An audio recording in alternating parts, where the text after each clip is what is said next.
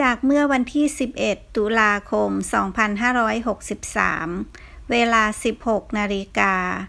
พระบาทสมเด็จพระเจ้าอยู่หัว และสมเด็จพระนางเจ้าพระบรมราชินี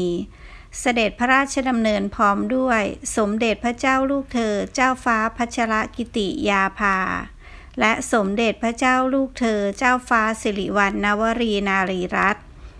เสด็จไปทรงพระบำเพ็ญพระราชกุศล ถวายผ้าพระกฐิน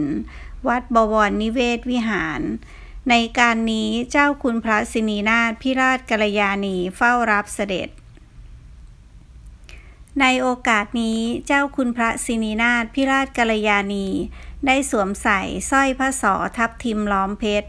มรดกตกทอดจากสมเด็จพระนางเจ้าสิริกิติ์พระบรมราชินีนาถ พระบรมราชชนนีพันปีหลวง ซึ่งพระเจ้าวรวงเธอพระองค์เจ้าสมสวรี กรมหมื่นสุทนารีนาถทรงเคยสวมใส่เมื่อครั้งดำรงพระยศเป็นพระวรชายา